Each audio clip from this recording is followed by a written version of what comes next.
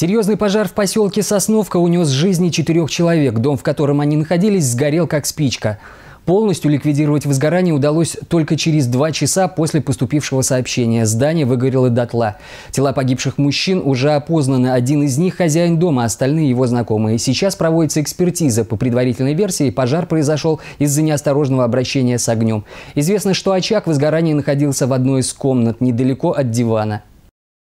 Э, на данный пожар привлекалась оперативная группа Главного управления МЧС России по Чувашской республике, специалисты испытательной пожарной лаборатории.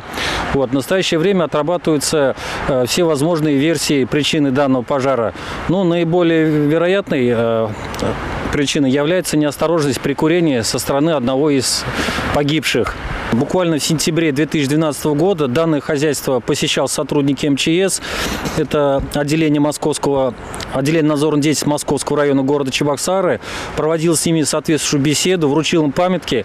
Но, как мы называем такую категорию граждан, она мало профилактируемая, поскольку они не смотрят телевидение, они не читают газет, э, на призывы людей в форме реагируют отрицательно. Также параллельно а, проверяются такие версии, как неисправность печного оборудования, а также а, неправильная его эксплуатация.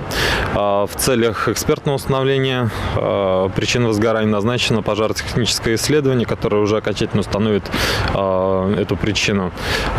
Сейчас, на данный момент, по предварительным данным, причиной смерти мужчин явилось отравление угарным газом. Назначено судебно-медицинское исследование, которое даст окончательный ответ на этот вопрос.